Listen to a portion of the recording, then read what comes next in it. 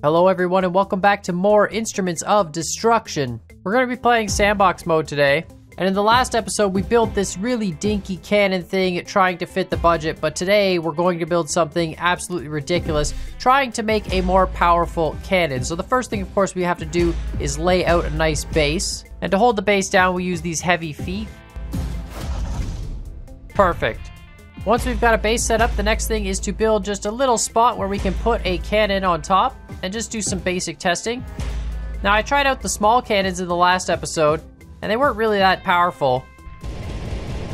They don't even really make it to the building. So I figured let's put a large cannon on it instead and see what this is. Hadn't checked the large cannon yet, but it's even worse than the small cannon, except the actual cannonballs explode. But if we could actually get that large cannon to go faster and make its way all the way to the building, then we could have it explode on the building. So of course I looked through the parts and found this magnet part. Now the magnet part allows us to both attract and repel objects, including cannonballs. So all we gotta do is just make a little attachment point and put a magnet in behind the cannon, and we should be able to propel the cannon a little bit faster just by having the magnet repel constantly. But you can see it doesn't really go that much further so we're gonna need a few more magnets. But it's definitely better than it was before. Now, if we look through the parts, we have this thing called an overdrive, which makes parts more powerful if you attach it to it. So we can put an overdrive down and then put a magnet onto the overdrive. And that should make the repelling force of the magnet way more powerful. It still doesn't even have enough to make to the building. I mean, it does if it rolls across the ground, but it's not actually hitting the building as a projectile. It's just sort of rolling there uh, but it still works. The building does collapse. And apparently the tower. Now I think everyone knows what the obvious solution is, which is of course place more magnets on it. And if we have more magnets, it should amplify the force and thus give us more speed on the projectile. So I figured let's just throw nine magnets on this and have them all set to repel and it should be perfect.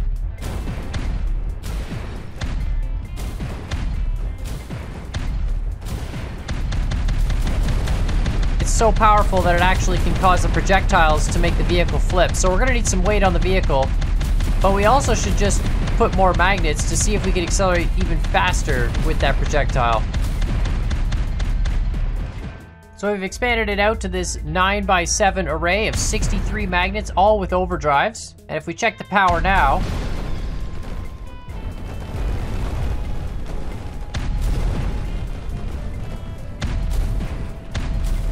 Can already tell this is ridiculous. It seems like there's enough speed with the projectile to cause damage even without the explosion.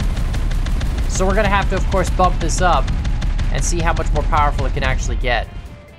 So of course, the next logical thing is to just put more magnets and make another layer of magnets. Luckily, we can have the magnets overlap into each other slightly, so we can make this relatively compact. And we'll just make another layer, the exact same size as this layer, and so doing this, we actually bring our magnets up from 63 up to 126 magnets, all repelling the cannonball. Now, of course, the further magnets in behind are not going to be as close to the cannonball, but they should still get the job done.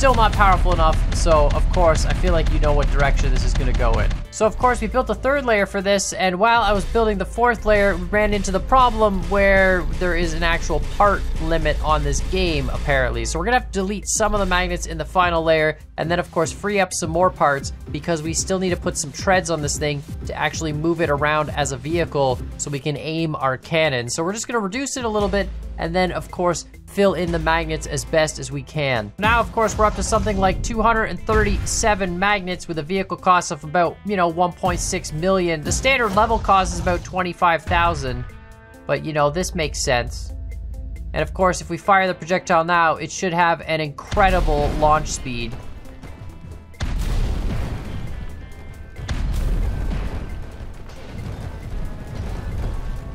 Unbelievably powerful cannon. So of course, we just gotta add some finishing touches, like some treads. I also added some pistons on the front treads to lift them up so we can aim our cannon up and down. But it's a pretty simple vehicle. We can rotate left, rotate right, and of course, tip our pistons in the front up to, you know, make it go up and down. But now we can actually move around and aim our cannon and it is just a wonderful piece of machinery. To increase the accuracy, I used the last two parts to just put a spike on the back. So I figured the only thing to do after that was to bring it to some levels. Uh, of course, we're here on the first level, and it's a little too big. It just wants to slide into the water. Trying to shoot the tower, we cannot get out of the water at all. A few attempts later, trying to get a hold of this level, I realized it's just, it's just flat up not gonna work. Luckily, the next level had a little bit more space, and unfortunately, there wasn't any space to drive into the level, but there is space to shoot these towers from a distance, and of course, this is a sniper robot. This thing is absolutely insane.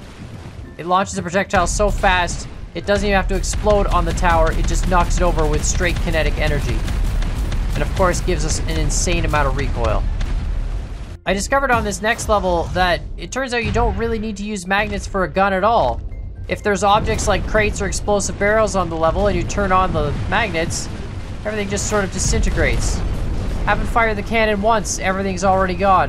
It just it just becomes particles. This thing has so many magnets it just completely obliterates everything. So seeing as how that was super effective, I figured we'd try it on the next level as well. I just turned on the magnets and already the telephone poles are just, they're just exploding. They just disappear. That one took out a whole wall with it. And then there's just, it, you know, it's a problem. Once one little bit of debris comes, it destroys all the rest of the debris. And we can just suck it in and just shoot it all out and the entire level disappears. It's just, it's just gone now. Amazing. Moving on to the next level, I figure we just turn on the magnets again, suck everything into the vehicle, and then shoot it all out. Of course, enjoying the three frames per second PowerPoint presentation while we're at it. But it just completely obliterates absolutely everything with zero effort. We don't even need to shoot the gun for this level. Now this level seems like it was designed for this kind of vehicle. We have a nice little starting island, but we're unable to make it across the bridge. However, we do have some huts that we can snipe with our incredible sniper rifle.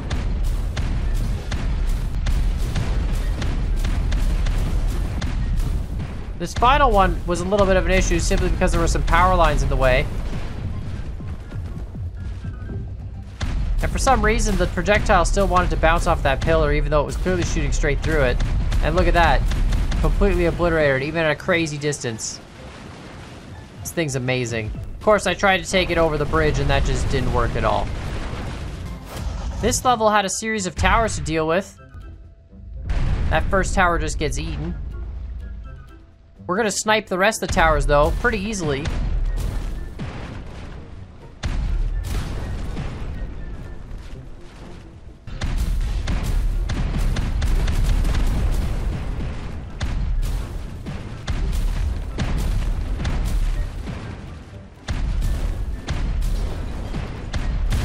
Sometimes you just need to use a few more cannonballs.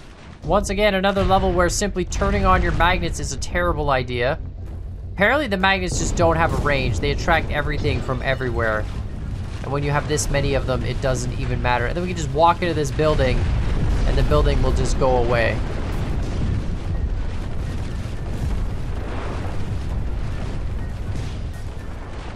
Of course, sometimes I realize this vehicle is just too large for its own good.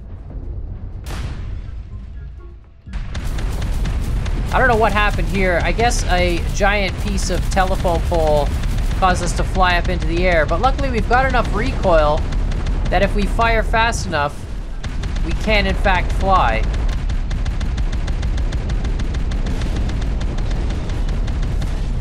And of course obliterate the entire map in the process.